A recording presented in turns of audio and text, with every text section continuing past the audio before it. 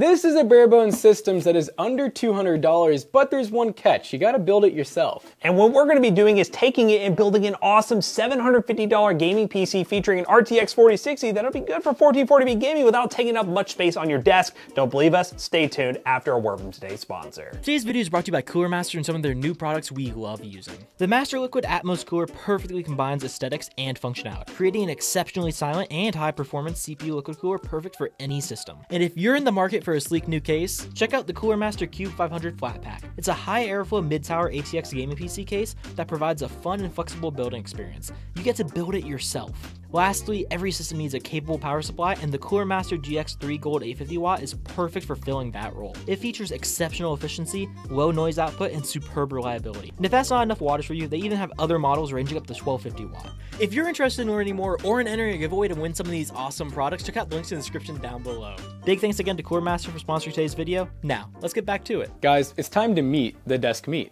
This right here is what we call a bare bones PC, meaning it's not ready to go out of the box. You actually have to do some work. You have to buy some extra parts, so bear with us. So this is the exact model, DeskMeet X300WB. And this one is an AMD platform. We actually did one of these a long time ago, but it was Intel, so we're switching it up and doing AMD now because, you know, normally if you wanted to build a 5000 series system, you're gonna spend, I'd say about 60 on a case, like a cheap micro ATX case, you're gonna spend probably about 70 to 100 on a motherboard.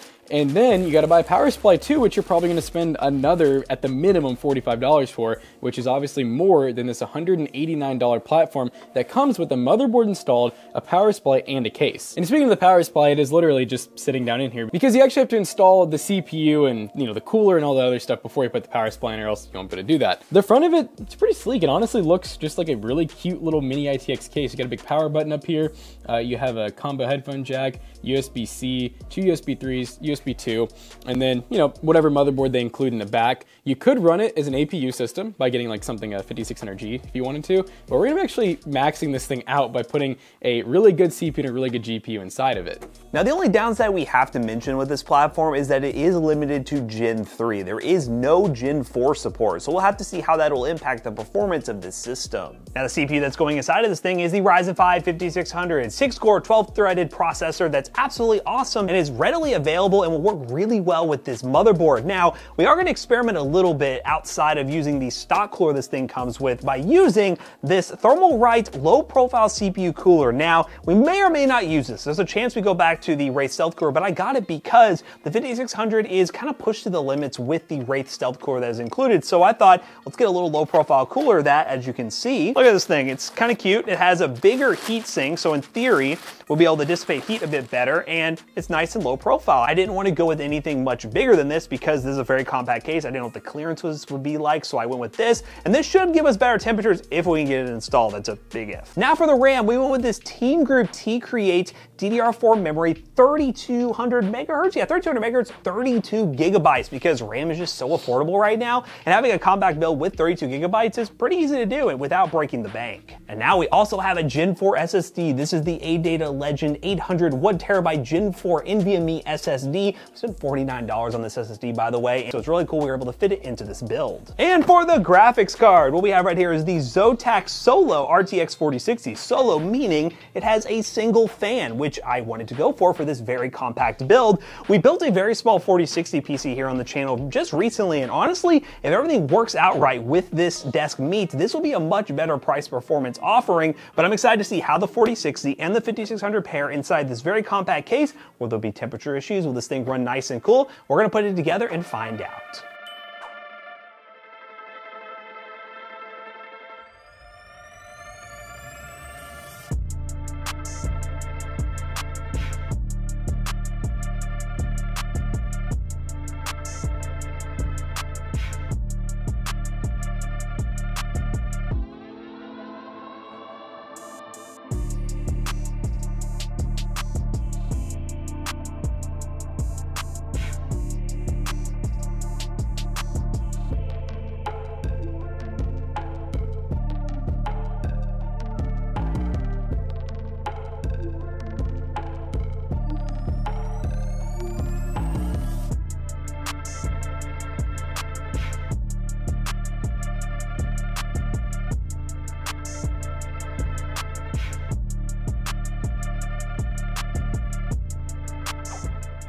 All right, guys, we are playing the finals, which uh, this is a first here, um, but I've been playing at home a little bit, so I'll hopefully not totally lose this. I, I can't. I was gonna show you guys the settings, but you know, The ultra rares, let's get it.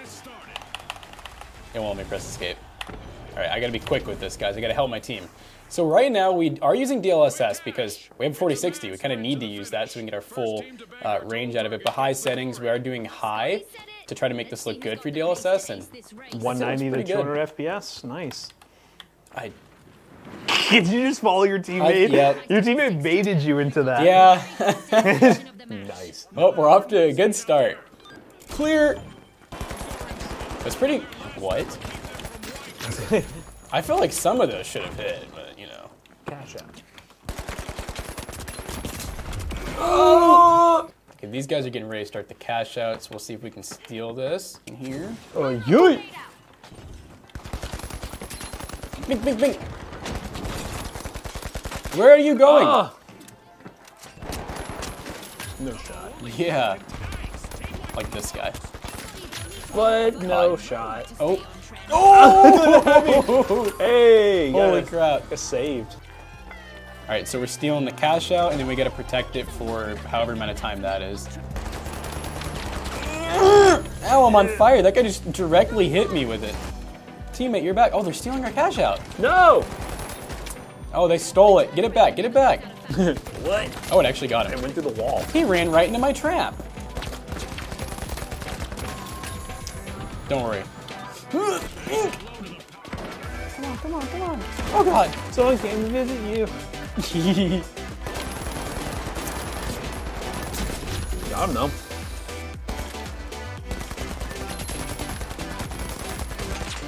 That dude ate my bullets. Where-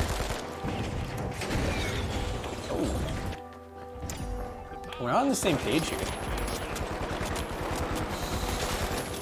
God. Be like on a different floor. Oh, there goes the heavy destroying everything. Oh, look, he pushed our teammate through the floor. Oh no. Oh, we got the we got the doorway dude. Uh oh. Oh, here comes Heavy. Oh, he's trying to. He's just trying to take Aw, it. he Ooh, we won. Let's go. Yeah, nice switch up. The finals running good so far. Let's move on to another game. Do it. All right, gamers, we are now in Fortnite on performance settings. We locked the FPS to 240. I don't imagine we're gonna get there, but far view distance, low textures, low meshes, and we are in ranked no build, which is gonna be something else. Oh, Dude, the textures are going Yeah, crazy. This, this part of the map is always broken. Hmm. I don't know, they just haven't updated it or what. Hey, what's up? Hey, what's up? Hello. That's a that's a real playa. Now, fun fact, guys, there actually is still some bots in ranked. But There I think that was real. The other thing I realized really quick about Fortnite is if you don't have like shields, you die so fast, like that. Like that guy with the regen, mean- yep. Bop, bop, bop. They're a sliver of health. Yep, that was. It's the game plan. Mmm. Oh, really? What a classic approach to this game.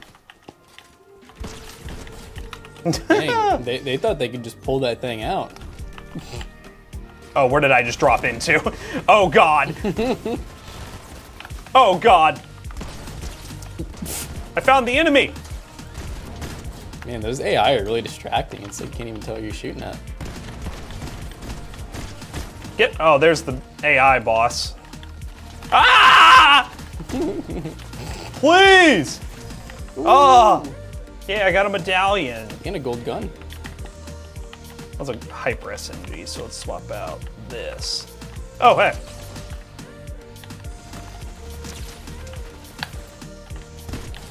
Get over here. Get over here, boy. Oh, there you are. Oh. Oh! Oh, he wants that medallion bad. Oh, he Oh! wanted that thing. Wow. Ooh. Dang, wanted that medallion bad, but hey, Fortnite runs really good right now. Let's see, what do we what do we go up to? Did our rank rise, ladies and gentlemen? Look at all my points. My bad definitely risen. It's gonna get to a point, guys. You're gonna see the progression here. Ooh, ooh, ooh, ooh, ooh, ooh. level up, level up. Oh, almost level up.